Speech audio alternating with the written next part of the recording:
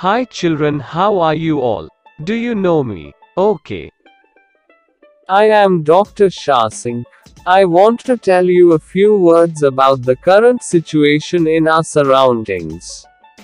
First of all, I would like to tell you that Corona is not completely gone from our surroundings. So, children wear masks and maintain social distance in your schools and also make others to follow these precautions. If we maintain the above things, we can easily survive from corona disease. As far as my knowledge, vaccine is available for you all in a short period. Okay, children, I hope you understand well. Take care. Bye bye. Thank you for watching. Please subscribe my channel.